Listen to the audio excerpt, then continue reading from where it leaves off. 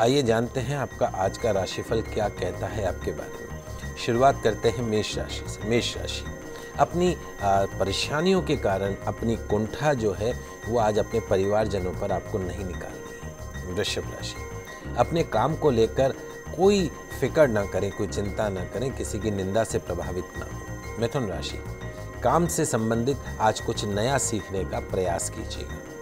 कर्क राशि।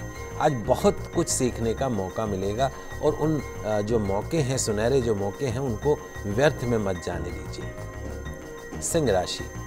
सिंह राशि वाले जो लोग हैं, उनके लिए आज का दिन एक नई शुरुआत का समय हो सकता है।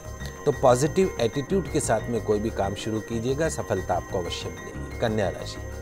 जिस काम पर आप पिछले कुछ समय से वर्क कर रहे हैं, काम कर रहे हैं, निश्चित तौर पे वो अब समाप्ति की ओर बढ़ रहा है और वो आपका काम जो है सफल रहने वाला है। तुला राशि, आज का दिन बिना सोच विचार के कोई भी डिसीज़न नहीं लीजिएगा वृश्चिक राशि, आपके जीवन में बहुत से निहित वरदान हैं। उन वरदान को पहचानने का प्रयास कीजिए और उसके अनुसार आगे बढ़िए। सफलता आपके कदमों को छूमेगी धनु राशि, परेशानियों पर कंसंट्रेट करने की बजाय खुद पर विश्वास करके उन प्रॉब्लम्स का, उन परेशानियों का हल ढूँढने का प्रयास करा।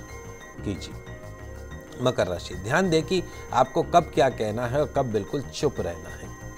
तो बोलने से पहले सौ बार सोच के, उसके बाद आज के दिन की शुरुआत कीजिएगा, आज के दिन में सारे काम कीजिएगा। बोलेगा कम, काम ज़्यादा करिएगा। कुंभ राशि।